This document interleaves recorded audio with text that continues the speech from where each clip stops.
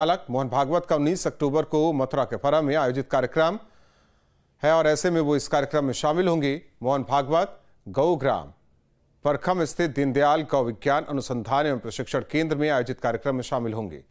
RSS chief के कार्यक्रम को लेकर आला अधिकारी अलर्ट हैं।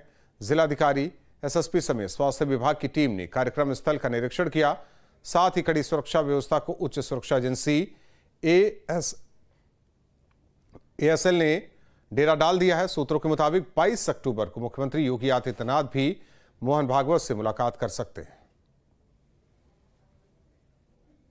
मथुरा के फरे में संघ की एक बड़ी बैठक होने जा रही है और संघ प्रमुख मोहन भागवत कल फरे के परखम में रहेंगे, जिसे लेकर सुरक्षा एजेंसियाँ पूरी तरह अलर्ट हो गई हैं और सुरक्षा एजेंसियों ने परखम में डेरा भी डाल लिया है। सुरक्षा व्यवस्था के व्यापक इंतज़ाम किए गए हैं।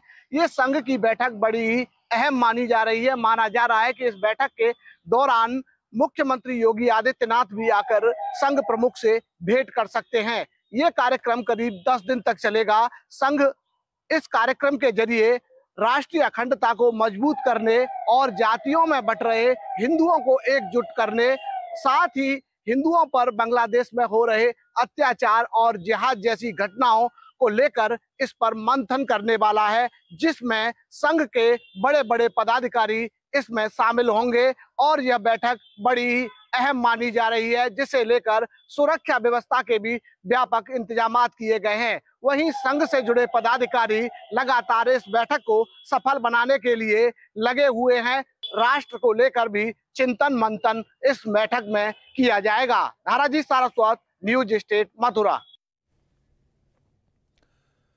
बस्ती से बड़ी खबर आपको बता दी मेडिकल कर्मियों का धरना प्रदर्शन, सीएमओ कार्यालय पर।